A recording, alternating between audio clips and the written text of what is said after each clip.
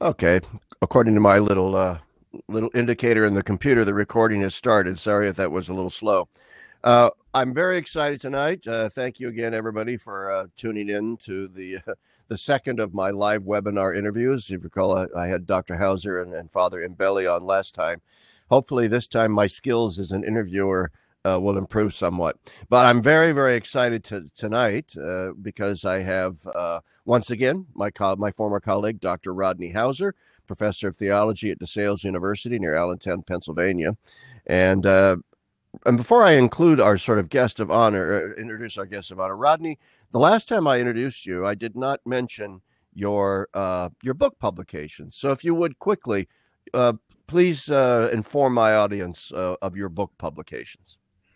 Well, I, you know, I, I have a couple of books. Well, I actually have two books on Balthasar, and then I have a book with you edited on, on Balthasar, right? So I have the uh, right. The original uh, book is uh, um, Hans Urs von Balthasar and Protestantism, um, and then the uh, second one is uh, uh, Hans Urs von Balthasar: A Guide for the Perplexed. and then uh, you and I, of course, edited the How Balthasar Changed My Mind book, which was a lot of fun. Yeah. And, and sort of more recently, I've been dealing, uh, I've been doing a lot more, you know, sort of articles and, and things like that. And I feel like I, I had a stretch of sort of back to back to back to back, really, really demanding articles that stretched me way, way beyond my expertise. but, uh, yeah. but I'm glad I wrote them in hindsight because I learned a lot, whether anybody else learns anything from them or not. Oh, that's great writing books one of these days. You know, we'll see. I think people tend to read articles more than they read books anyway, and I prefer to write articles than books myself. I actually can't stand writing books because I have the attention span of a flea. I get bored. Really, seriously, I get bored uh, when I write a book. I get about halfway through it, and I think, can't I read something else now. and I'm re- I'm ready to study something else now. Uh, so th- there's a tediousness to it that taxes me. But anyway, uh, thank you for that. I, I, neglected to introduce your full credentials in the last show. I was so focused on Father Imbelli. But the but uh, my uh, my main guest tonight uh, is uh, Dr. David C. Schindler and uh, we're very pleased to have him here. I've known uh, Dr. Schindler for many, many years. I knew him when he was a wee pup, not that wee. I think you were in your twenties. Yeah, I, th- I, think you were in your twenties when I first met. I was in my thirties, and you were in your twenties. yeah, weren't we all? and I had hair. I had. You still have hair, and I hate you for it. But uh, there you go. I actually have hair. It's just horrid looking, you know. And I refuse. I refuse to be the comb over guy. Anyways, let me give you a brief uh, uh, biographical here. Uh, Dr. David C. Schindler is professor of uh, metaphysics and anthropology at the Pontifical John Paul II Institute for Studies on Marriage and Family at Catholic University of America. He is a translator from French and German and editor of the North American edition of Communio, and an author of many books, including Freedom from Reality, The Diabolical Character of Modern Liberty, and A Love and the Postmodern Predicament, rediscovering the real in beauty, goodness, and truth. I would also add that, well, tonight we're going to be discussing this wonderful book that he just came out with, The Politics of the Real, which I reviewed in Catholic World Report. Oh, I'm knocking into my microphone. There we go. I'm no Joe Rogan, I'll tell you that. And uh, here we go. But one of my favorite books, too, was one of his first ones Hans Urs von Balthasar and the mm-hmm. Dramatic Structure of Truth. I love this book, David. That's a great Thank book. You. Yeah. Was, was this your dissertation? It was. It was, yeah. Yeah, I kind of thought it was your second dissertation or third or whatever it was. but I, I actually think, I think here is your best book Plato's Critique of Impure Reason. I've read this one twice. And I'm it, I'm really pleased to hear that, Larry.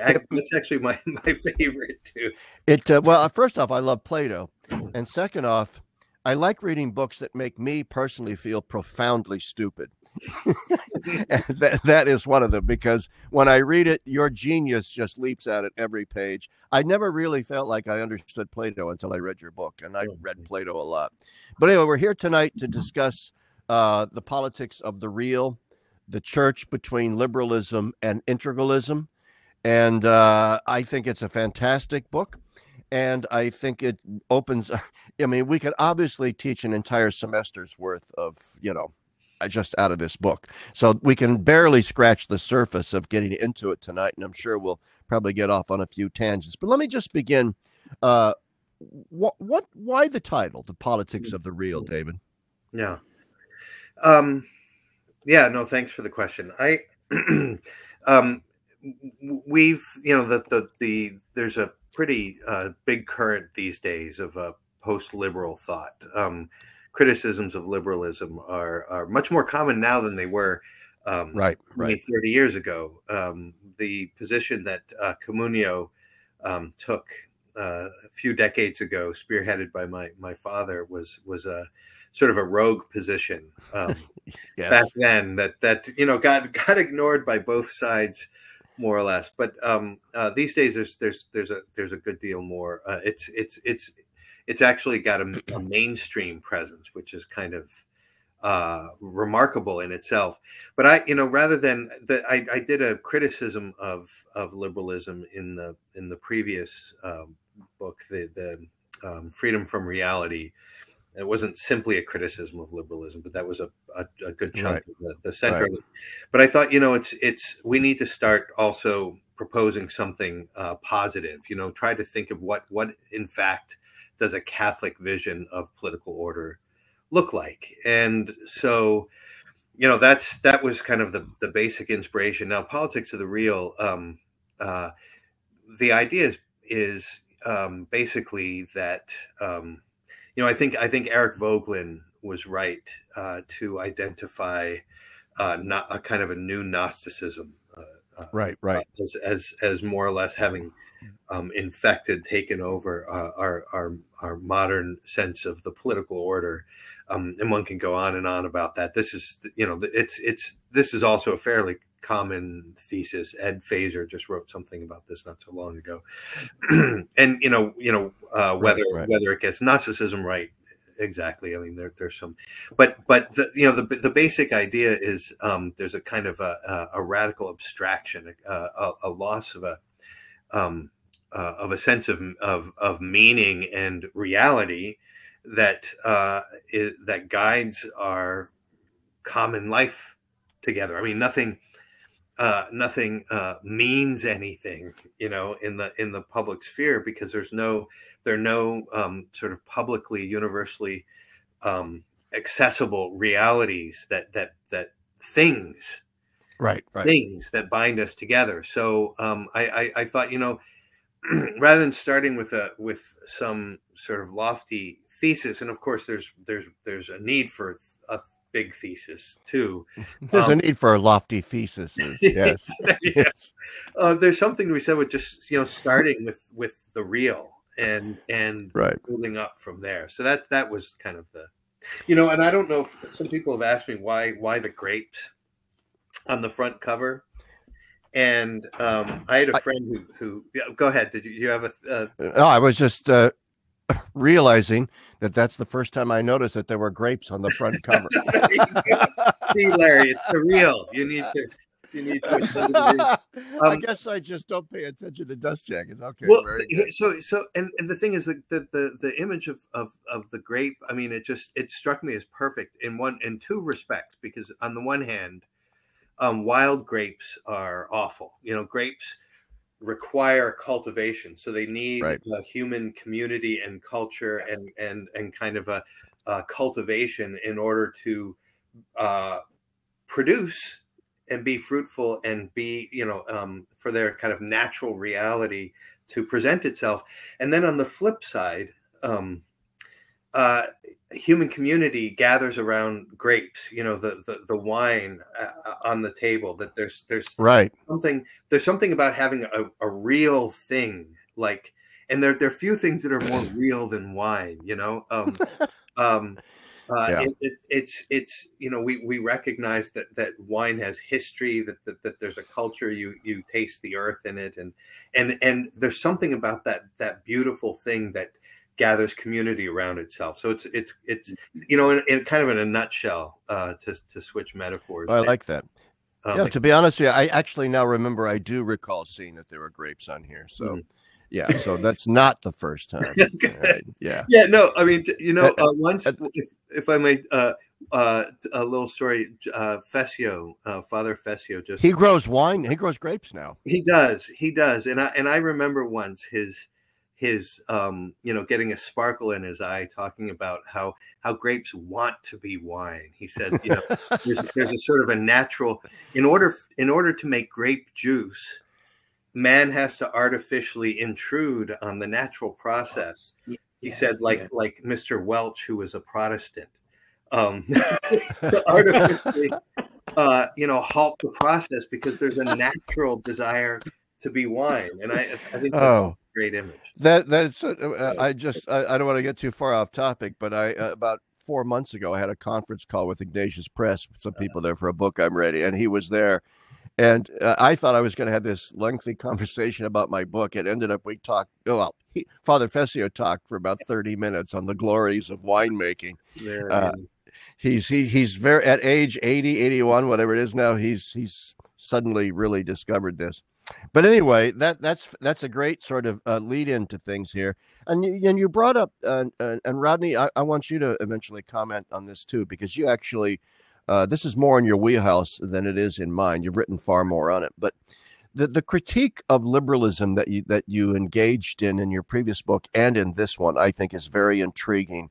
And I mean, and you mentioned in your comments just now that how you know 20, 30 years ago, Communio under your father was already sort of carving out this critique of liberalism, specifically to a critique of John Courtney Murray in, in, its Catholic iteration.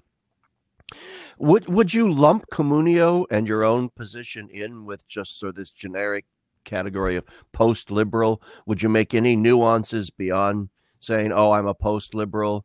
Um, maybe you um, could comment. Yeah, yeah, yeah. No, that's that's that's interesting. I I you know, the, the post liberals come in many stripes. I mean, there right. are some radical progressive ones and, uh, you know, socialist versions and then integralist versions. And so, yeah, I mean, one has to be very careful. I, what, what I, and I, and I don't often use the, in fact, I don't even know if, um, I use the word in the book. It's not, it's not a common, uh, category. I don't, I don't recall. No. Yeah but but you know i i like that so the press um that published this book it's kind of a funny little story how how how that happened. Uh, i didn't know that i was getting to know the guys um at the new polity press um andrew willard jones and and um uh, uh, and his his Marc Barnes and, and Marc Barnes, yeah, um, to um, some really really interesting and wonderful people uh, that that uh, are you know creating a kind of a community around this idea.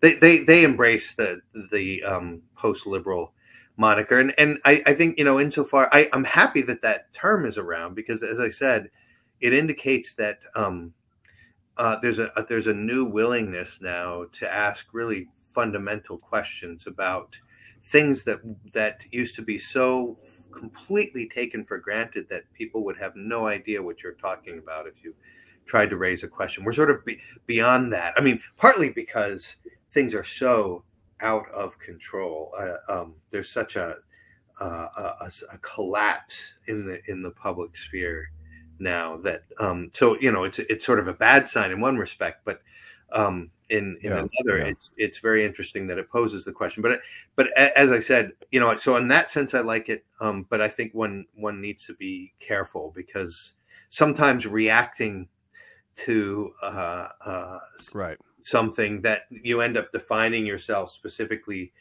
over against it and that's usually a really bad move. Well that's sort of why i asked the question because you know the criticisms are immediately going to come by people who want to rush in with labels.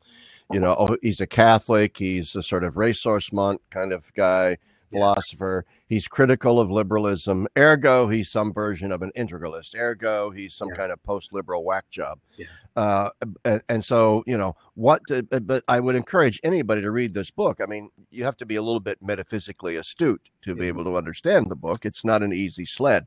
Uh, but nevertheless, if if you are interested in these questions, don't, don't rush in to label anybody that is sort of no, thank you for that, Larry. I, I um, uh, I, have actually seen, uh, I've been grouped with integralists. Um, yes. And I, I, you know, I mean, I, I would have thought on the cover, sort of, it's clear that that, and and you know, there's a yeah between liberalism and yeah, yeah, yeah, that, that that wouldn't.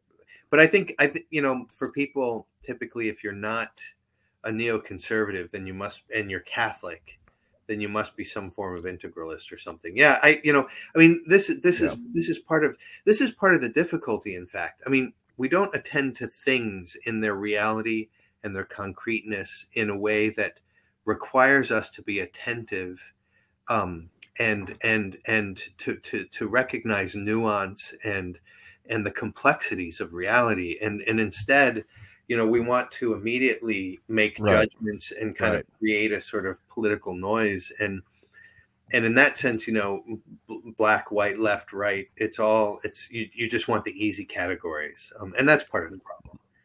I know. I mean i read into it. I uh, read into a problem in social media a few weeks ago uh, Facebook to be particular, where I was talking just on somebody's Facebook page, uh, Mark Shea, to be honest, mm-hmm. and and all of a sudden somebody was attacking me. Oh yeah, you're that guy that supports uh, Schindler because you reviewed his book, and so you're an integralist too, just like he is. Oh no! Like, oh, oh wow! Oh wow! I didn't realize I, am not an integralist, neither is he, and nevertheless, that's what we are apparently. Mm-hmm. Yeah. Uh, so yeah, that's why I wanted to give you the opportunity to say, "Hey, Rodney, do you do, do you have a question?" fomenting in your in your mind there? I, I do, if that's okay. Uh, oh, well, yeah, of course, okay. That's why you're here. yeah, no, it's it, it's it is kind of a maybe like a two prong question, or and and I'm not sure they're as related as they ought to be if they're if it's a two prong question, but but but you whatever you can do what you want with them, uh, Dave. Um, the the first one, uh,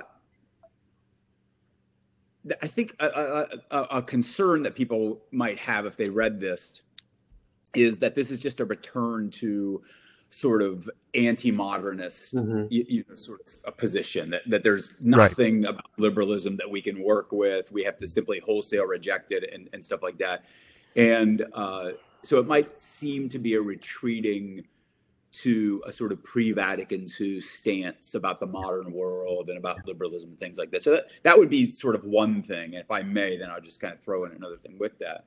Yeah. I don't think that's the case, by the way, but I think that that that sure, sure, yeah, no, yeah, I would like to hear you address that. And and the second thing has to do with something you said in your in your in your in your previous comments about how you know in your first book you're more just kind of laying out a criticism of Lockean sort of notions of freedom that could kind of get sucked up into the into the broadly liberal uh, tradition. Um, and in this book, you actually try to propose something constructive yeah. And this is something I actually think is is somewhat new. I mean, I, if I can just speak yes. autobiographically for a second, in the mid '90s, I, I read the first piece by your your your father in Communio. I was a mm-hmm. thoroughgoing sort of neocon, you know, mm-hmm. you know, and a, sort of a Straussian, and uh, and uh, and I read your father. I don't know, can't remember the piece now. Something about liberalism and American order, you know, something along those right, lines. Right, right. Yeah, yeah, yeah. Yeah, and he's I, had a he's had a few articles about that topic. I think. Yeah, I was going to say, yeah, yeah, yeah, variations on that title. Yeah, that, yeah. But I tell you what, I mean, I just I was flabbergasted when I read it. It literally just blew me away, and I knew everything had to change. Like I just knew that I could no longer go on just kind of playing. And I was a first things reader, you know, and uh, you know, and all that.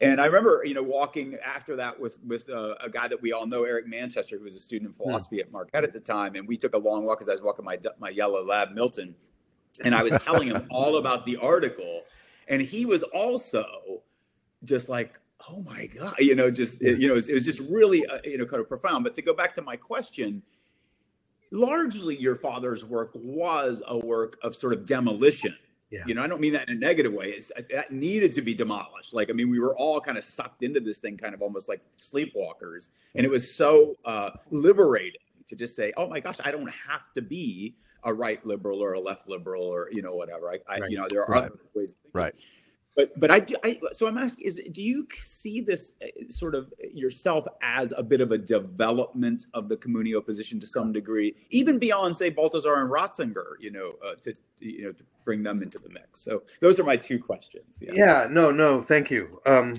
uh, and and I think they are they are they're related. Um, uh, okay. Good. Yeah. Yeah. I, but you know, to the first, it, it, it is it. Uh, you're you're right. This is the question that everyone has, and it's a question that that um, uh, uh it always gets put to me. And um, there there seems to be um, you know that this this anti modern thing uh, uh, is is you know becoming sort of a tired rant and so forth and um yeah and my response to that is um um i i at one point it occurred to me to uh, to use a different term which uh, i don't use that consistently but i think it's worth pointing or, or presenting here um uh there's uh i've i've i've had a tendency to present the position that i'm trying to articulate as as pre pre modern um, but mm. the, the, the problem with that term is that it suggests that um, this is the good old days as opposed to the the bad new days, and so everything after a certain point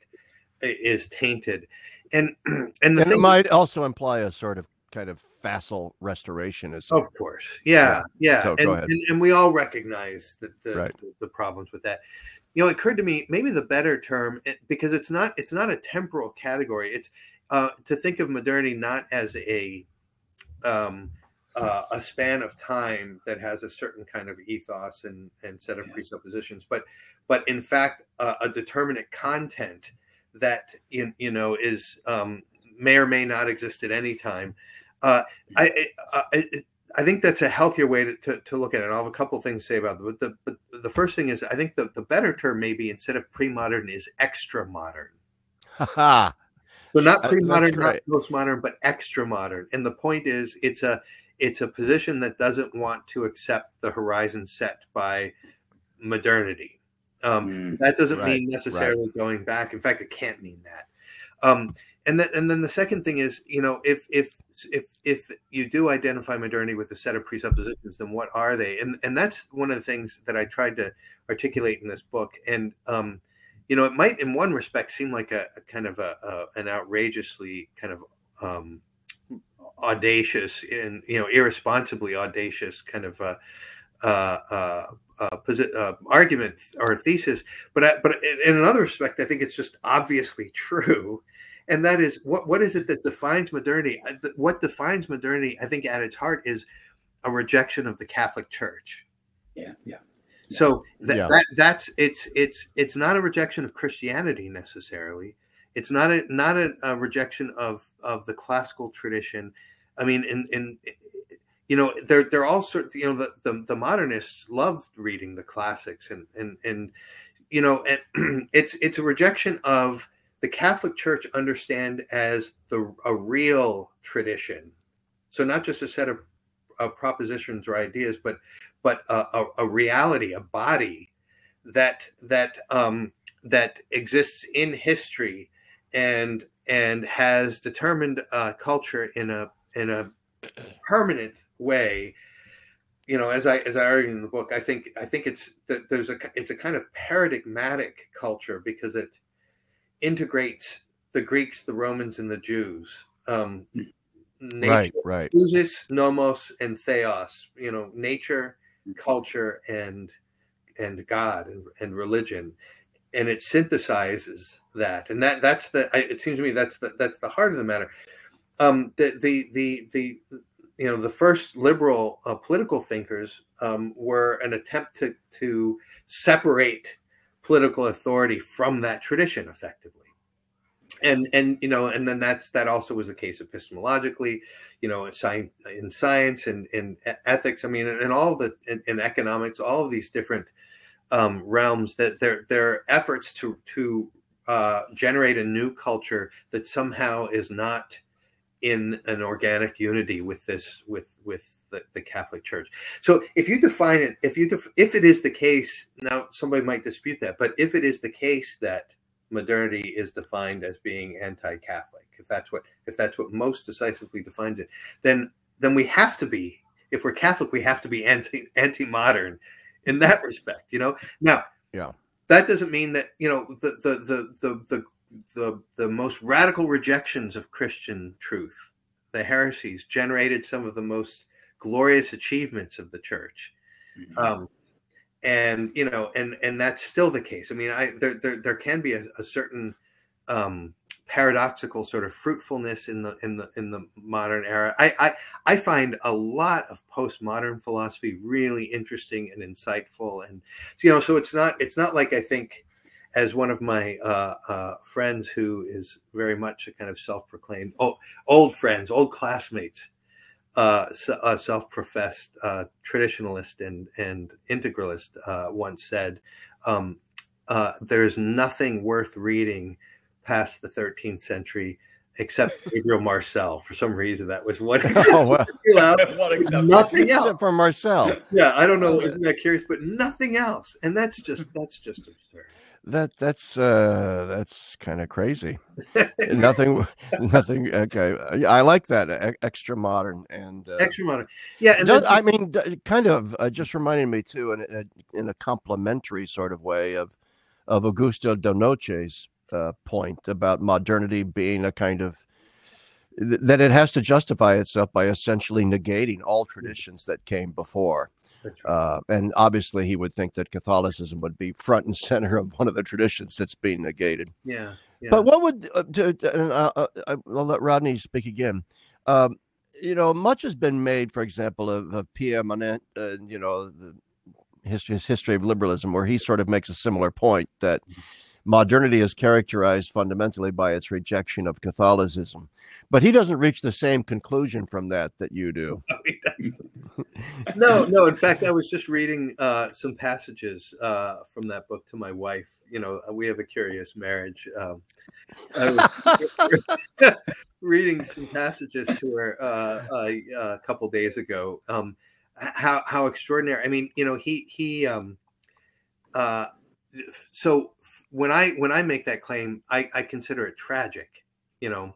And, and in a way it would be it yeah. would be a, a, sort of the almost the um the the reverse of what you just articulated larry. I think i would say that because it rejects the catholic church it rejects all traditions. Yeah that's a good I mean, way a curious it. sort of I, am just not saying that that would be del noce yeah yeah yeah. No no no. You're yeah. right you're right.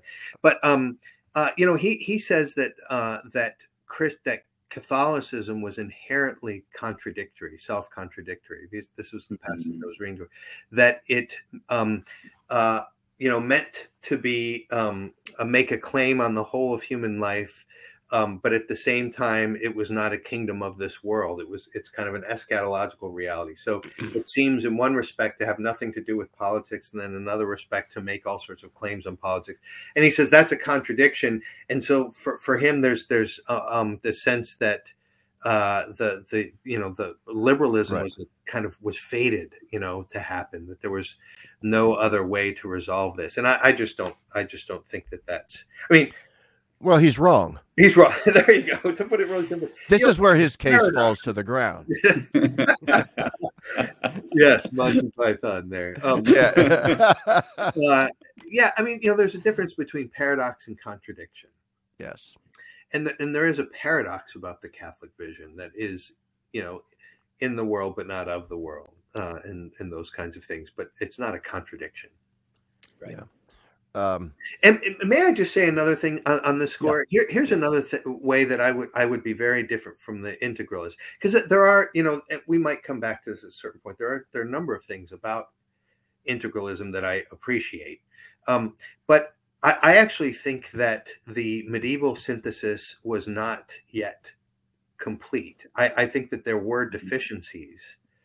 Oh um, yeah, yeah, and and that we're we're still looking for um, you know this this uh, attempt to embody the paradox of the Catholic Church in relation to the political order is something we we we're still looking for a proper resolution.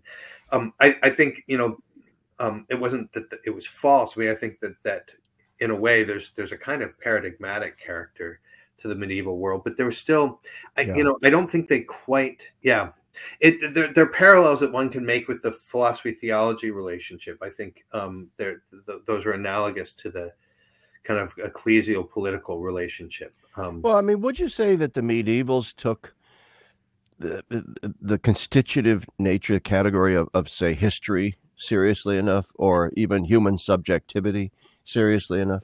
Um, I, uh, right. I mean, I, I, not, not, not at all. In fact, I was, I was just making that argument with, uh, with my class, um, uh, the other day. Um, I think, you know, th- uh, and, and is that a gain? I mean, I, I, I, think there's, you know, it's, it's, it's interesting. Um, I, I had a, another uh, philosophy friend point out to me that, um, that one never finds the expression "the meaning of life" um, in, in the classical tradition, whereas John Paul II said it all over the place, and and uh, you know he he was raising that as a criticism of John Paul too, that he's kind of embracing this, but I, I actually think there's something really beautiful about that about that phrase and what it implies, and and this brings out a dimension that wasn't there in the.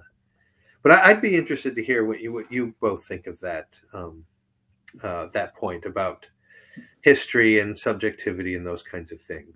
Rodney, you want to comment on that?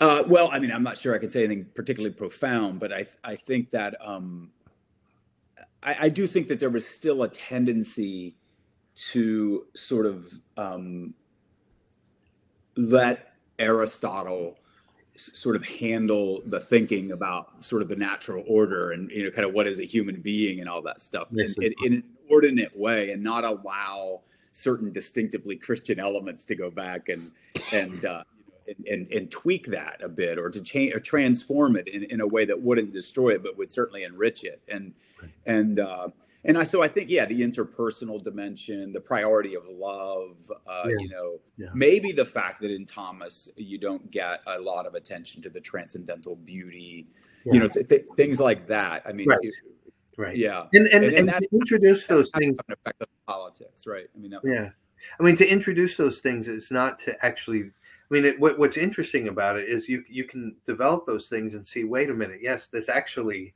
brings out dimensions of Aquinas. It's not a it's not a um, you know a simple correction or an intrusion or something. Um, and right. and to my yeah. mind, that's that's that's the sign of novelty that is true. It's novelty that actually allows you to see the tradition with new eyes. Yes. Yeah. And and yeah that reliance on Aristotle, it, strikes me that uh, there is such there, there's a kind of a, a, lack of an appreciation for uh, the, the, the oh what's the word I'm looking for the the the immanence of God. I'm, I'm having a I'm having a senior moment. The full significance, the full historical significance of God's immanence, and I think that's a theme. Of course, of course, the medievals and the patristics talk about it, but it leaves them a little squeamish mm-hmm. because mm-hmm. of the issue of God's you know impassibility, and yeah. he's getting a little too he's getting a little too intimate with the vagaries mm-hmm. of temporality.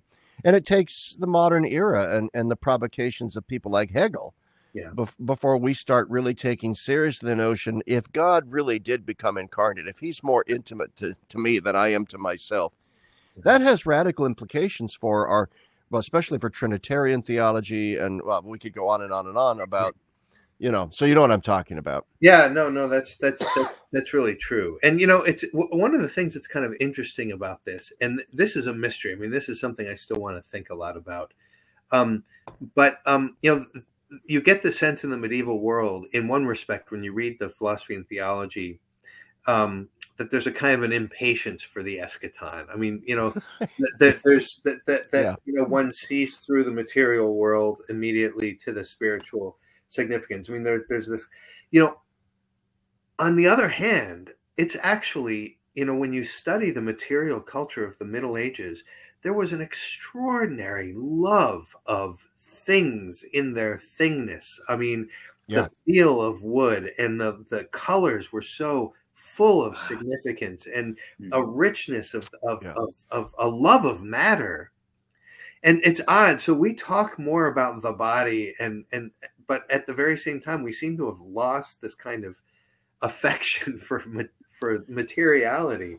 Well, and, and it's a curious thing. It's something really, um, well, they they live closer to things yeah. than we do. We live in a world of digitized abstraction. Yeah, and uh, they lived in the world of you know no toilets and the Black Death. And, yeah, you know there. And I don't mean to get vulgar, but there was an immediate encounter with the natural world that maybe imposed imposed yeah. upon them the realness of things. They felt a need to escape it, but but you yeah. know the, the the I mean you know just the the feasting that they did Oh yeah, yeah. It's, it's, it's it's extraordinary, and the and the the the, the guilds yeah. that were that were formed around matter. It was it was the the material that you know stone. Those all that work all those that worked with stone were in you know gathered together, and I I just find that so so uh, striking. Um, you know, it's it's obviously connected to this larger question about.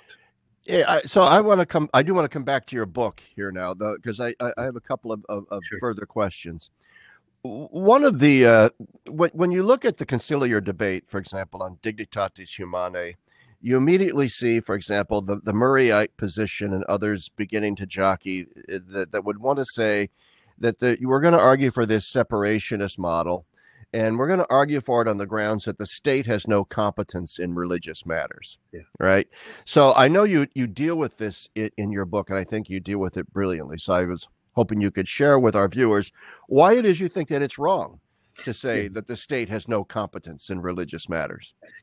Oh, where to start? Um, I, I, know that that's that on page. I have you know on page two seventy two. That's where we start. Page two seventy. Two seventy two. You really get down to the, where you state that both the state and the church are concerned with both temporal and spiritual matters. Well, I mean, you know, you know, this is this is part of the thing, and and and and to be honest, this is one thing that I think we are in a position now to develop more explicitly than was done in, in the Middle Ages. But uh, um, uh, I, have I've been struck by Aristotle's idea that um, political, which Aquinas affirms, shockingly, mm-hmm. when when you read it, you just think, wait a minute, he's this is more than you would expect him to say. You know, uh, uh, Aristotle and then Aquinas affirms that political society is the highest society, and that it is the most and the most perfect society, and it's uh, the highest society because it is ordered to the highest good in the highest respect. Um, mm-hmm. I mean, that's that you, you that's a lot get, of highs. Yeah, that's right. You can't get past that, right? And so, so what does that mean? I mean, the the idea that religious life isn't part of the city is um, ridiculous. And now, uh, to say that that that religious life is part of the city doesn't mean that we collapse. And this is the point that nobody, it seems to me, quite pe- people just don't have the patience to think about this. Um, uh, to say that the um, that religious life is part of our public life, it has to be. It's a it, it, in a way, God is the the the res publica. Um, right. That doesn't mean that, that that isn't a collapse of the church and the state. It's it's you can we can recognize um, the, the, the the the profound ordering to the whole of of uh, of political authority and at the same time recognize that it is uh, uh, responsible for the whole with respect to life in this world, as right. opposed to uh, and, or as distinct from um, the the eschaton and salvation, so that the state doesn't save us, but um, it is actually responsible for our being able to live um, the worship of God as a, as a kind of a political reality you know? And that that seems right. so strange. And in order to and that one of the reasons that seems so strange is we've got such a reduced impoverished sense of what politics is. Oh my but yes. there's there's a great deal of of remedial work that has to be done to make any of these sentences actually resonate properly. But you know we need to recover a sense that the um that we relate to god as communities. And and that doesn't mean just the community of the church but that means you know the community of marriage in a most in a very obvious way but also in in in uh, uh, in the political order simply um, and you know I, would have a lot to say. I don't want to sort of go on and on about so i'll just leave that there. But so so this is you know and, and that's why the the the, the now finally i'm answering your question.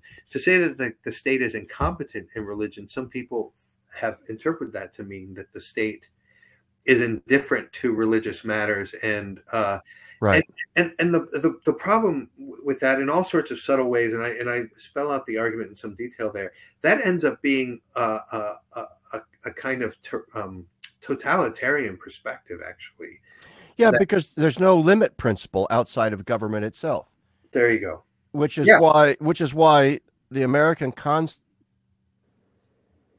a domain that the government carves out for us by self-limiting itself. Is part of the problematic right that you point out in your book because it's the government doing the self-limiting on itself there's no there's no boundary beyond the government that's a limit factor on government per se that's right you know and so what the government gives today the government can take away tomorrow yeah. Rodney, do you want to do you want to get, get your two cents in here? Well, yeah, just I mean, just yeah, just to piggyback off of all that. I mean, uh, it seems to me that it's it's it's a huge thing to point out, and you allude to it in the book, you know, here and there, uh, uh in, in in really helpful ways. But you know, this this invention of a new idea of religion is, is mm-hmm. really sinister yeah right because absolutely. because it, you start to circumscribe it in this this little area where you can neatly define it and then that means that anything like a secular person says they immediately get the benefit of the doubt precisely because what they're saying is not religious but if you think about like what what is a person saying right. when they say it's totally acceptable for a woman to kill the child in her womb right, right?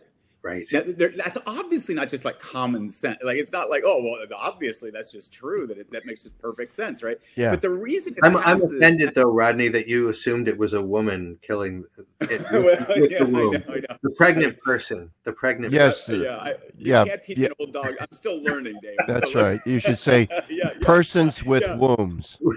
there you go. Persons with. Um, you know, the, the, because it's precisely because it's not religious to yeah. say that. Therefore, that's the position that's going to be the dominant position. I mean, it's, it's absurd as if this isn't a, like you're not making a statement about something really profoundly complex and mysterious and you know it, so it, there's a sense in which what happens in a, in a in a secular society is the state actually amasses to itself both responsibilities both for the temporal but yeah. then also for these things that touch on transcendent realities like yeah. what is the status of a child in the womb? That's i mean we, we we yeah right? I mean yeah. Well i mean yeah. this this is kind of a triv- trivial sort of example but um, i'm incompetent uh, at fixing automobiles all right? I i can't I, I i couldn't fix a car to save my life.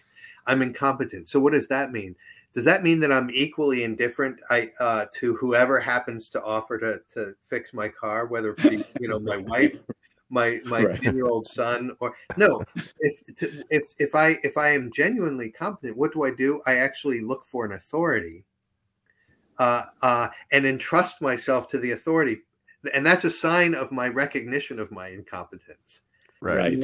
Right. I, you know, and if the state were incom- were it genuinely incompetent in religion, that would mean that it actually has to recognize an authority. And if it doesn't, it, it it's actually calling the shots of what counts as religion, what you know, and that, that's that's the point that you made there, Larry, yeah. about that there's, right. no, there's then no limit to it. It it it becomes the supreme judge, actually.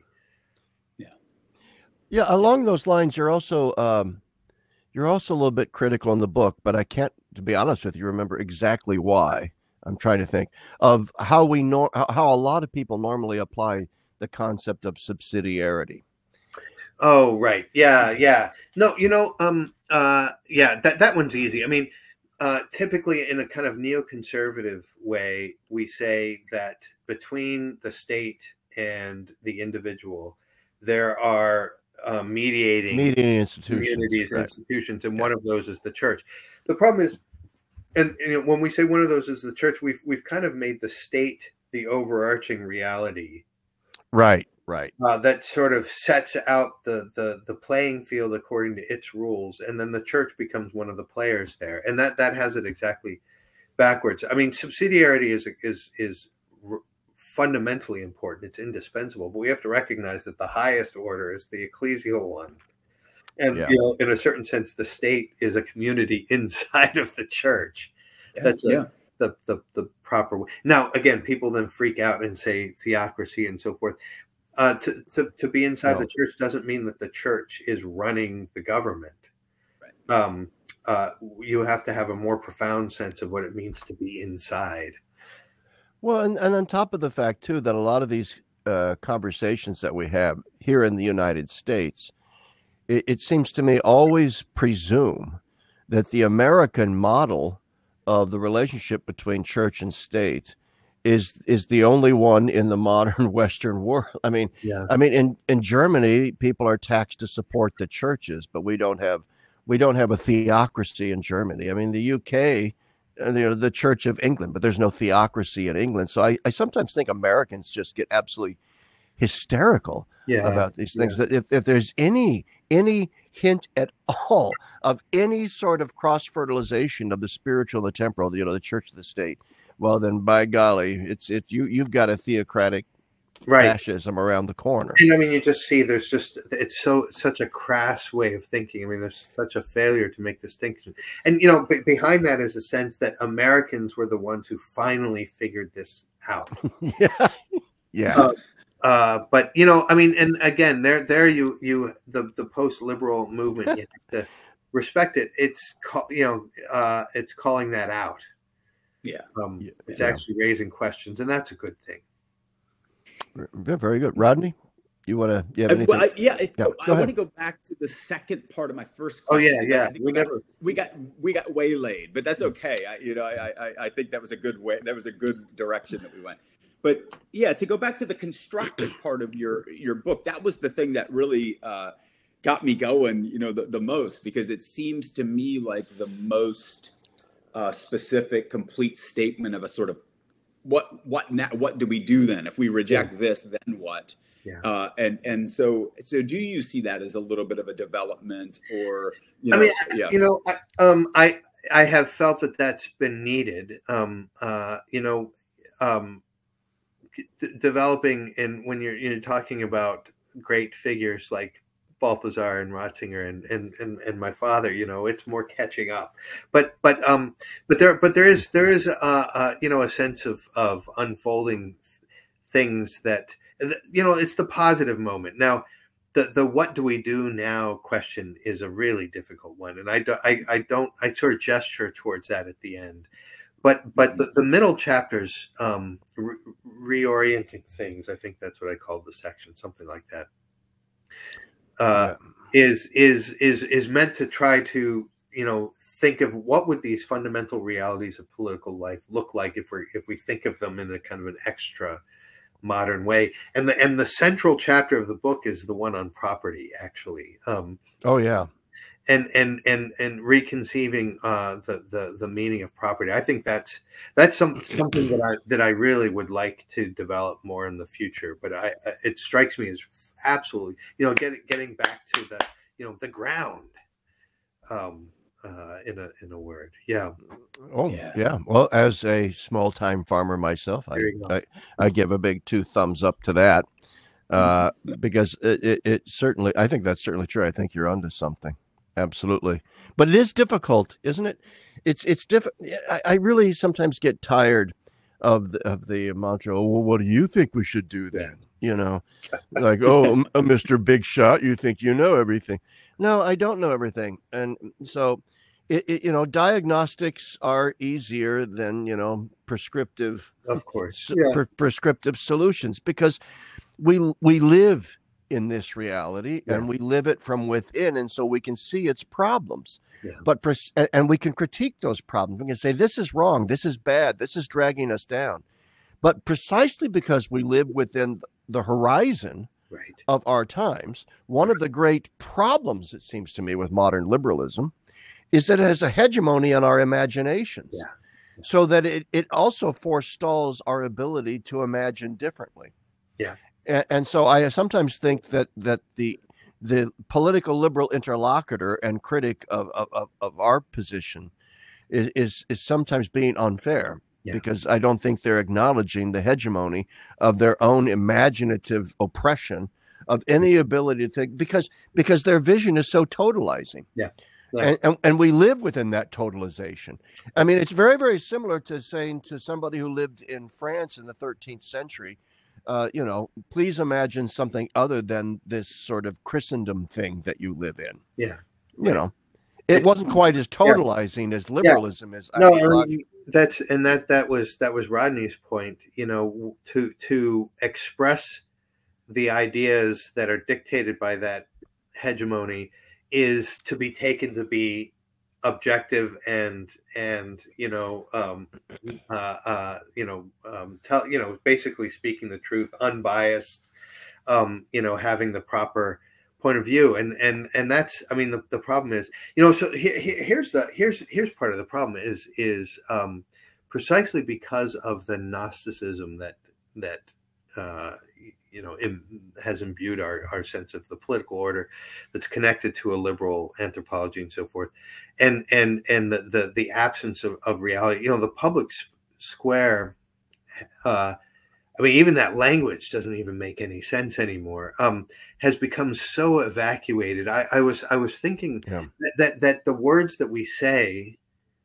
don't don't mean as soon as they enter into that sphere, they just they they just stop meaning. I, I was thinking uh, this morning um, about Homer and uh, you know that those there's there's something when you when you read Homer, there's something just so invigorating about it. And, and one of the things is uh, uh, how how rich and full the, the the the natural physical world is so world world is so when when they speak you know the the the, the winged words escape from their teeth and and the words that come out of their mouths they have a kind of an objective effectiveness you you have no yeah. control over them they fly and they they make things happen there's a kind of whereas i was thinking in our world our, our words are, are like dead pigeons, you know. They, they yeah. enter into the public sphere and the then they thud, thud, and yeah. nothing, you yeah. know.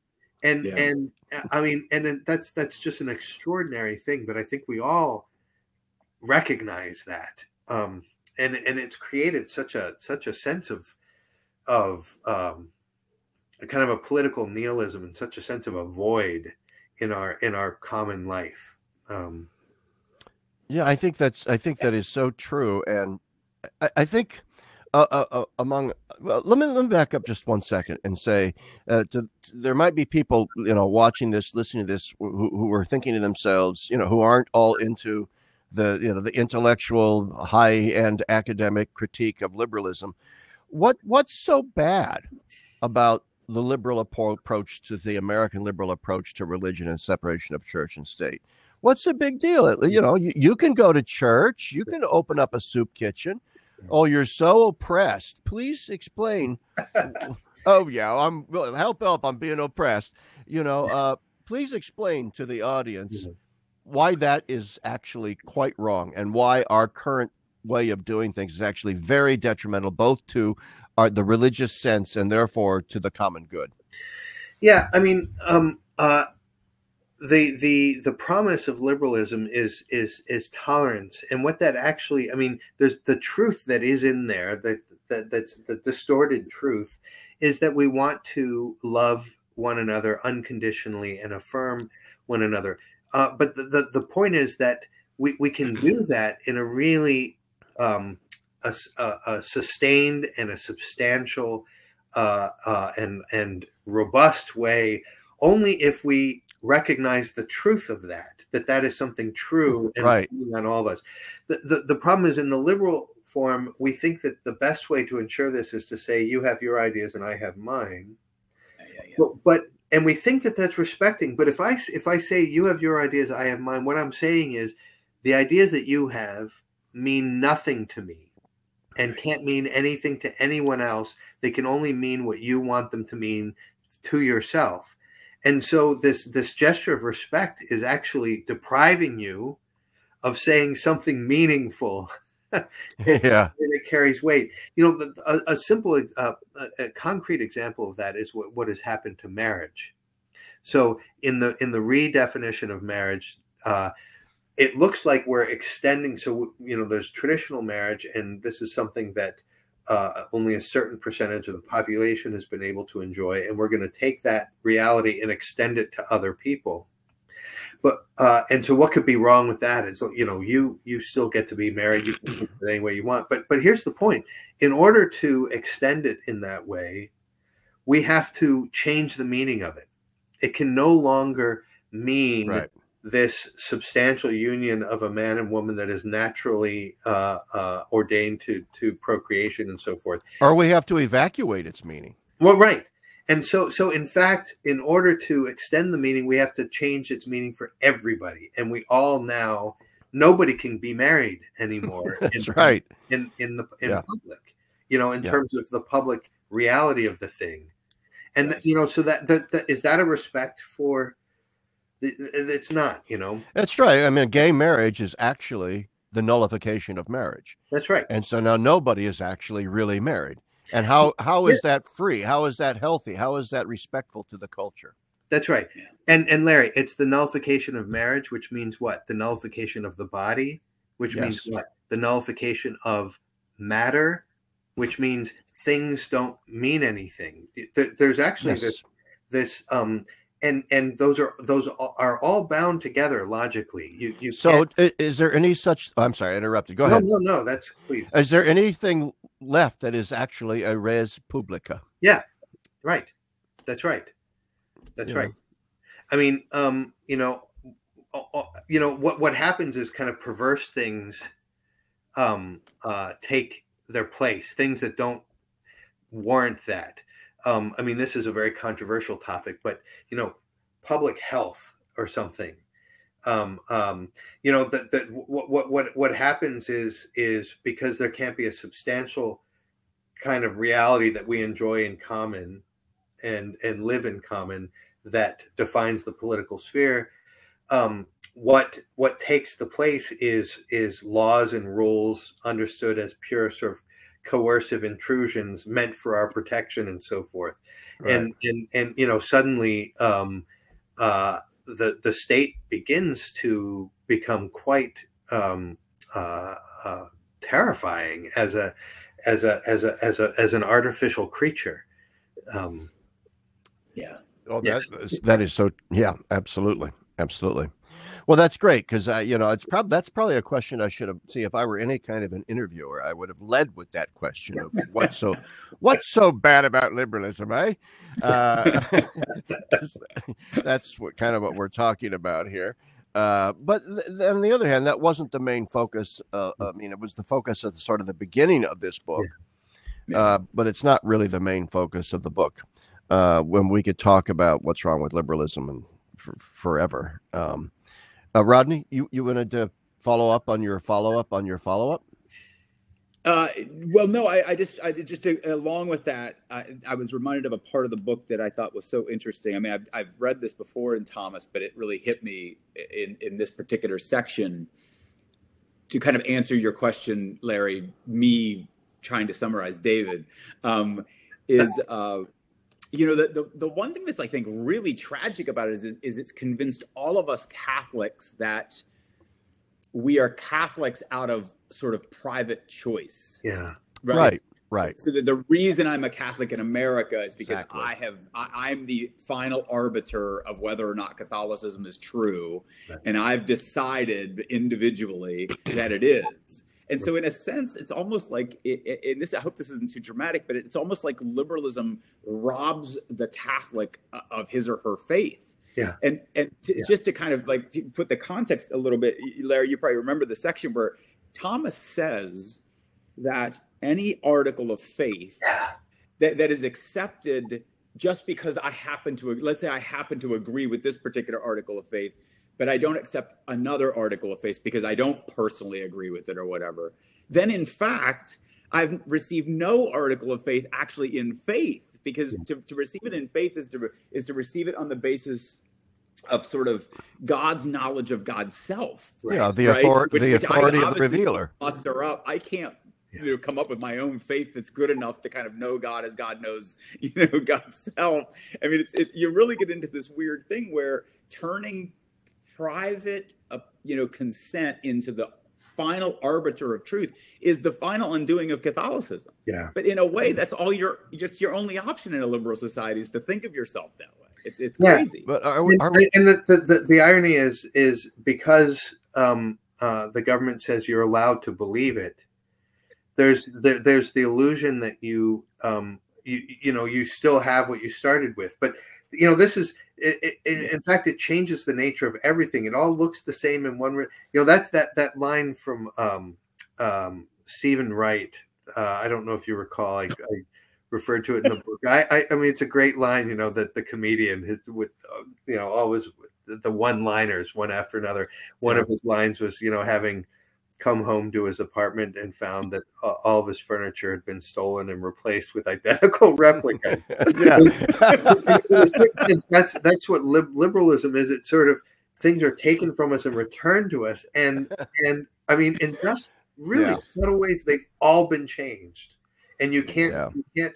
And, and this goes all the way into our private life. I mean, that's the thing that's sort of ironic is that um, uh, it, it, it goes all the way. In fact, it goes into into our very relationship, you know, between soul and body. Uh, it, it's mm-hmm. it's extraordinary how insidious this is.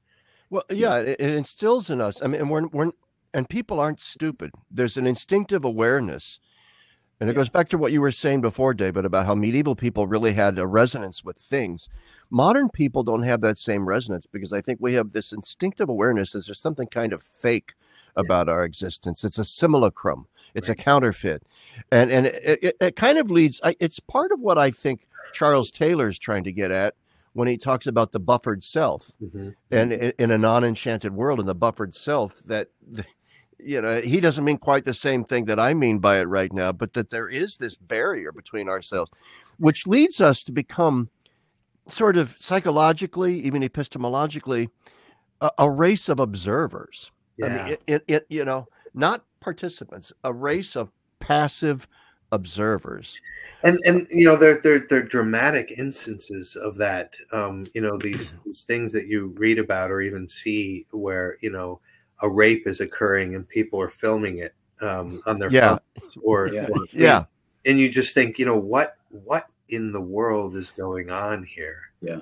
Yeah. Um, yeah no that's that's that's the that's the thing. It's it's um you know in the end uh plato always turns out to have seen all these things uh before the rest of us. You know i mean i think this oh yeah. meant by the cave uh that we we we are we are sort of surrounded by um you know but it's it's kind of a radicalized cave because we um we recognize that these things are fake and yet we don't see any way out of it. I mean, we we mm-hmm. we, we, right, right. it. There's there was a uh, an interview with a philosopher. I forget his name. That I mm-hmm. just read about um, who's um, coming out with a book arguing that you know we need to um, stop being scared of uh, the bomb and learn to love it. Is uh, was that Doctor Strangelove? You Doctor Strangelove. we need to stop being scared of virtual reality and recognize that it's just as real as anything else. And you know, right, right. that means that he's trivialized. You see what I mean? You can't say that unless you've already assumed yeah, kind of yeah. a trivialized form of reality. And you know, he's he's and so what what's the, what's the what's the outcome? You know, the the depression uh, that afflicts our culture and the the the, the extraordinary violence and the oh, the, yeah. the um uh, just nihilism and addiction. Uh, it's addictions. Big. Yeah, yeah. No, it's I. You know, it's got to be the case that there has never been a culture in the world so riddled by addiction uh, in in history. I mean, I you know, well, all the or depression. I, I, yeah, I yeah, it's yeah, a perfect it's yeah. a perfect storm that has come together in the United States of yeah. of wealth and material uh, uh largesse that affords us every concupiscence, yeah. every indulgence and, of our concupiscence and, and that we get ever. Ingenuity. And, the technological and so yeah. forth. And then we add to that the opioid drug business and all that. And you add to that the nihilism, the Rodney said the depression. Right. And it just becomes a perfect storm for all kinds of addictions. Uh, that then further create us as simply a race of observers, passive mm-hmm. observers that live now simply within the dopamine rush of of our, of our subjectivity. Right. I mean, my wife knows one of the things that drives me nuts, and this sort of just personal, is, uh, you know, you go to events now, be it a graduation or Thanksgiving meal or whatever, and they've become photo ops. Yeah. Everybody drags out their smartphone, and I mean, I've been in situations where you know we're right in the middle of something fantastic, getting toasting somebody for that, and somebody says, "Stop! Stop! Stop! Stop!" Yeah. And, you know, and, then, and then twenty seven iPhones come out, and I just fly into a rage. Yeah. I, I, I, of course, I'm prone to flying into yeah. rages, but, but yeah, and, and, think about this. You know, people will justify um, technological devices because they, you know, they're just a, a kind of an improved means to achieve whatever end that you want. And so we say something like, you know, Facebook and so forth is a means to allow us to um, communicate our lives. But you know what? What happens in subtle ways is just what you're saying there. I mean, think about it. We're starting to think of the experience as a means to post something on. So, so That's now right, right. reality Yeah. is becoming the instrument Yeah, Yes. that serves the, the the the greater that's my point. of the Facebook post, and that's just That's and, Weird. that, and that's Yeah. how it's a little bit different from, for example, I know, and Rodney would know about this. There was sort of controversy back in the day when re- recordings first came out of music, and you know mm-hmm. the the live musicians were saying, well, that that's that's not a good thing. Yeah. Music is meant to be experienced live in person by real people playing real instruments right there in the room with you. And as soon as you go to vinyls and so forth, something is is changing. And yet yeah, and that's that's all true, but th- I think it's in a different category altogether than what you just described, where we are now actually viewing reality itself as simply a medium for for creating virtual reality. yeah uh, You know, and so I, I think there's a subtle difference there, but still, I mean, yeah there is, and, and and it's worth reflecting on that further. Yeah, I mean not not tonight. Yeah, I mean, lots and lots of people have thought about this. I'm thinking of Neil Postman's book, you mm. know, Amusing Ourselves to Death, where he talks about basically what did us in was the telegraph and then the radio. uh, well, Plato Plato does it one better. The problem was writing. Yeah, yeah, yeah. so that's the problem, right? You just keep peeling back the layer of the onions until we're just reduced to a series of of monosyllabic grunts. you know? That, that's the one piece of technology that my students w- would be okay with me not allowing them to have is books. You know, like, no Writing. books in this. class. I'm No like, okay, books, no books. writing. That's hilarious. Yeah. No writing. but but it does need unpacking and it does need uh, a greater attentiveness to to sort of what's going on because of our liberal culture because of its denigration of the spiritual its marginalization not its denigration its marginalization which is even worse. Yeah. uh, and and and the, what it has done to our notions of the structure of reality. And it all goes back to my question. All right so what's so bad about liberalism saying religion is just this utterly private thing on a level of choosing a Big Mac over a Whopper, you know. Yeah. You choose your Lutheran Whopper, and that guy over there's got his Buddhist fish sandwich, and uh, you know, and it's who cares? Who cares? And what you're essentially saying is all religions are equal because they're all equally trivial, Right. Right.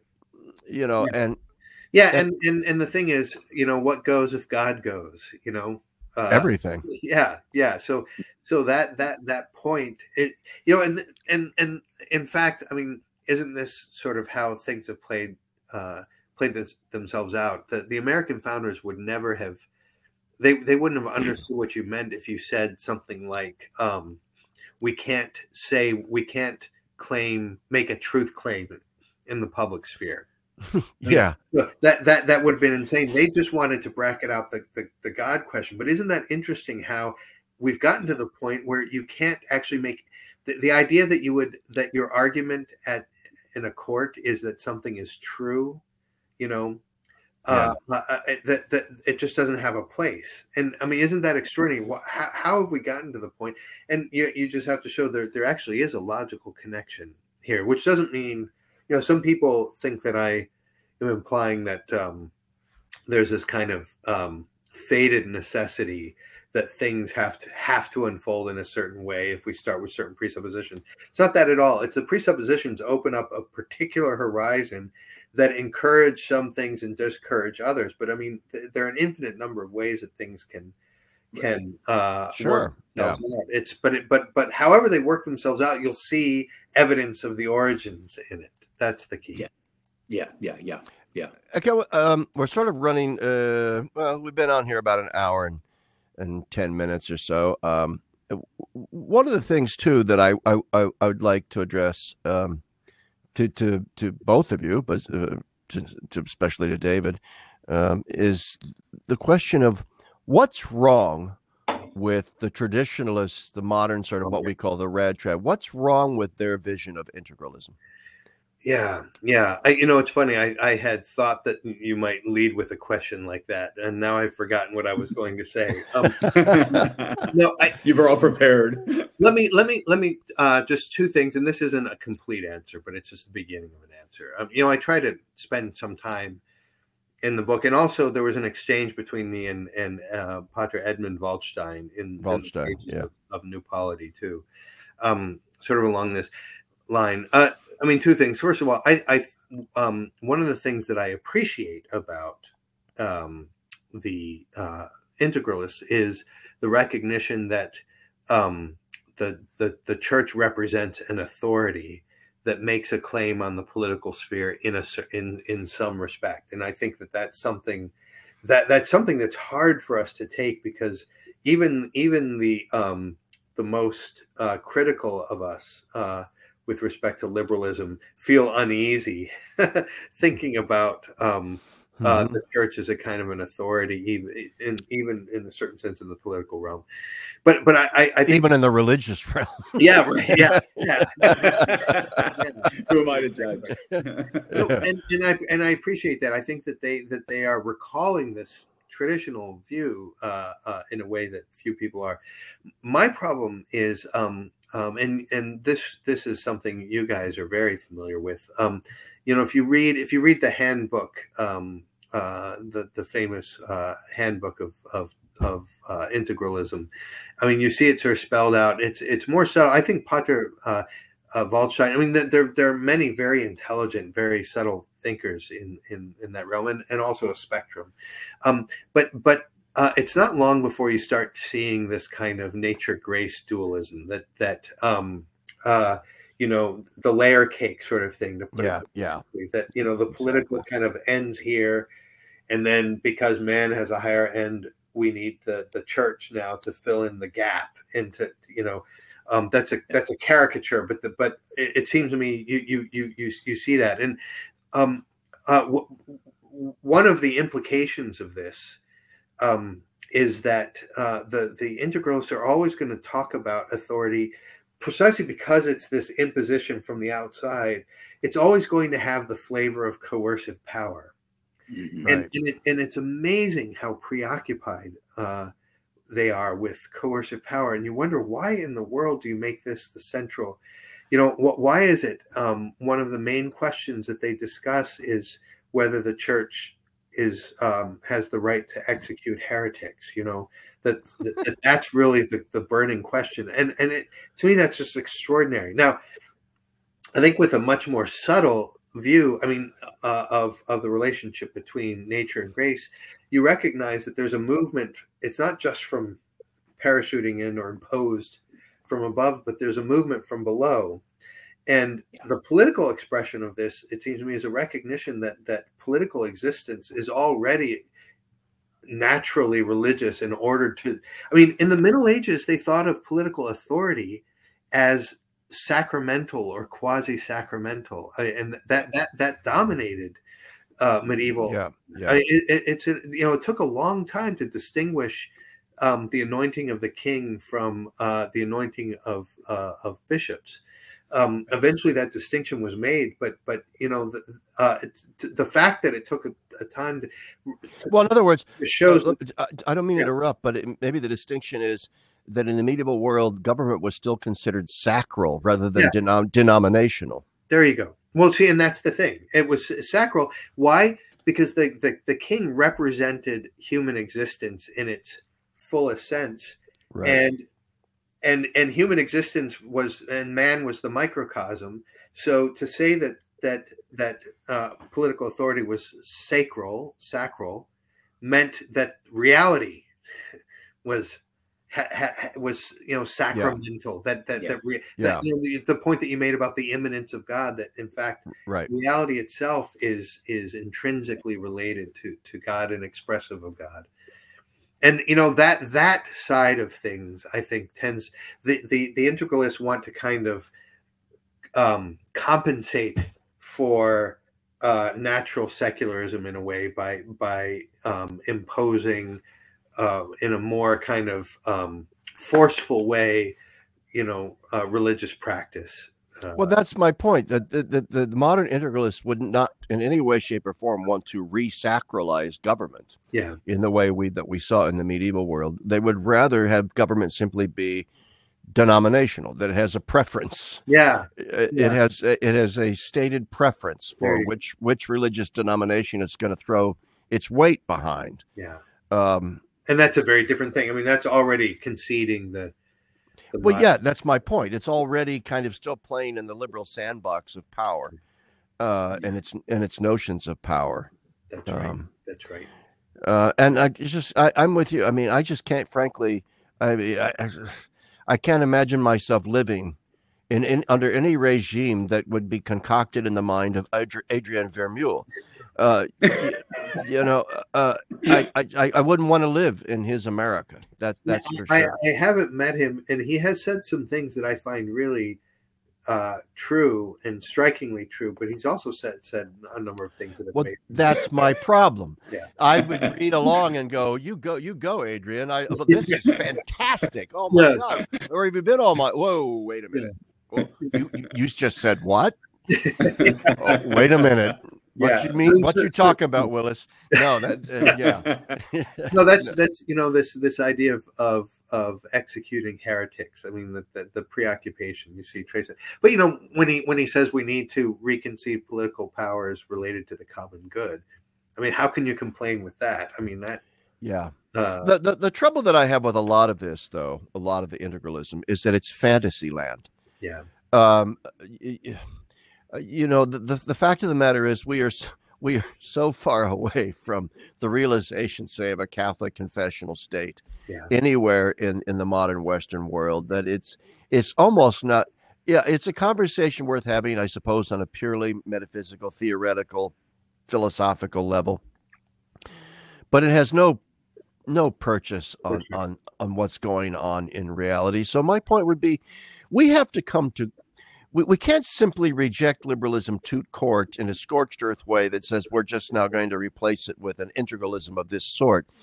It seems to me that even if there's something foundationally wrong at the very basis of the liberal project, that the, that the liberal project still has valor, valorized uh, freedom, Yeah. in in a way that has to be embraced, Yeah. by us, not Yeah. in the way they construct it, Right. but in the fact that they raise the question. Yeah. Uh, and and this is something that I think is an irreversible movement of history Yeah. that w- that we have to construct our own now political. And I think this is what Dignitatis Humanae was trying to do. Yeah.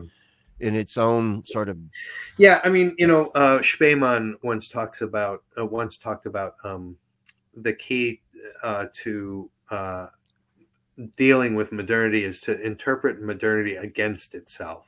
Exactly. Mhm. you know and so if modernity uh, uh, defines itself as breaking from the tradition um, what you need to do is reinterpret the very things that it's affirming in relation to the uh, uh, That's right. traditional roots you know and and Yeah, in a yeah. further dimension of that you know uh, you know that that you've heard me use the word tradition a lot uh, in this discussion that's it's becoming increasingly a, a, a, a, a category for me um, and I, and I, you know, and it's something I think needs to needs to be thought through some more. But you know, it, it is the case. You know, the, here's the irony that the traditionalists um, want to recover something that's gone, and so in, in, in a curious sort of way, they are trying to recover tradition in a non-traditional form.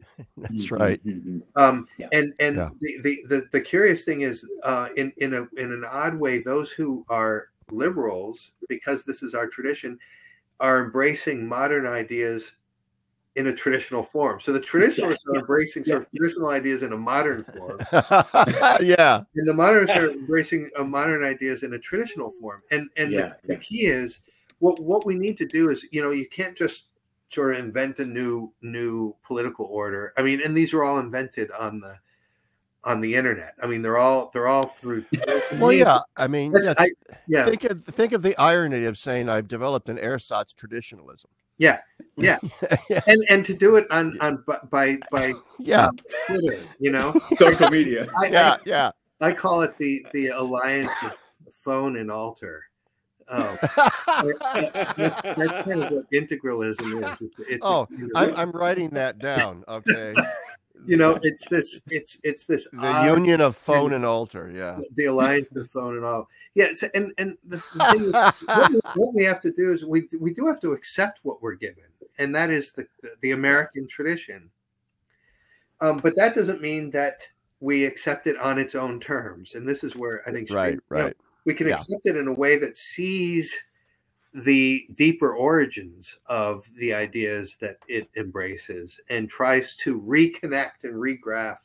I mean that that's kind of the way I. I well, yeah. I mean, for example, you get these traditionalists that reject dignitatis humanae because it endorses religious freedom, and it's, it's see there you you now have accommodated yourself to modern liberalism and its regime of religious freedom, and the the answer is to deny religious freedom okay? Yeah, yeah. and and no the answer is not to deny religious freedom. The, the the the answer is to develop a more robust sense of religious freedom than the liberals have to actually show that their version of it is is stupid and silly and yeah. ours is the right one yeah okay? it is not really free and not really religious. So yeah exactly exactly exactly that's the uh, problem. Yeah. okay Howsare I've, I've i've been talking too much? you, you want to get? We're we're going to shut this down here pretty soon. It's we've been going about an hour and a half. Last words.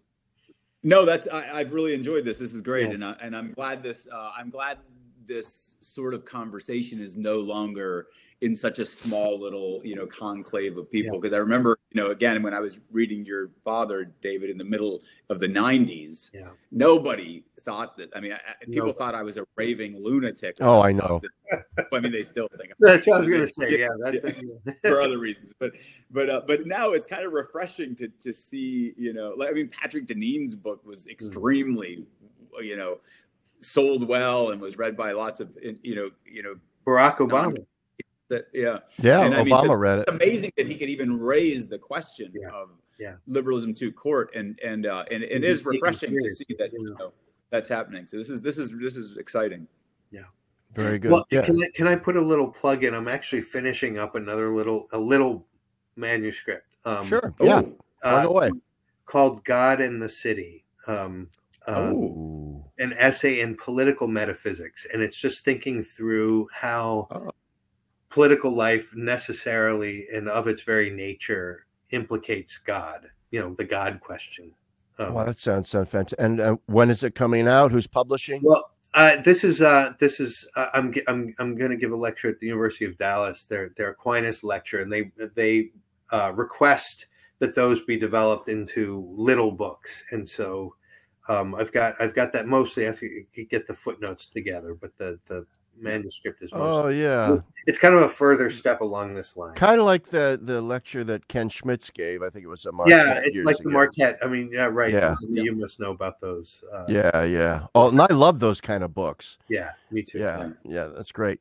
Well, thank you, gentlemen. Thank you very much, uh, and thanks everyone for uh, watching and or listening, depending on how you're doing this. I can't thank David Schindler enough for showing up and discussing this well, great book thank you. It's you know it's really good to see uh, the two you guys together. We don't get you in the same room as often uh, anymore. Yeah, uh, it's, uh, well, we haven't had any Communio conferences down in Washington lately. It seems like because of COVID. COVID, yeah. Uh, stupid. COVID. I hate COVID. hey, Here, here's you, here's the deal. You guys throw a conference as soon as you can, and I'll and I'll drag this guy with me, and we'll there you go. There you go. Drag is the word, but I'll be there. Absolutely. All right, I'm gonna stop. I'm gonna stop. We can hang out a little bit here, guys. I'm gonna stop the recording now. So uh, there we go. Stop.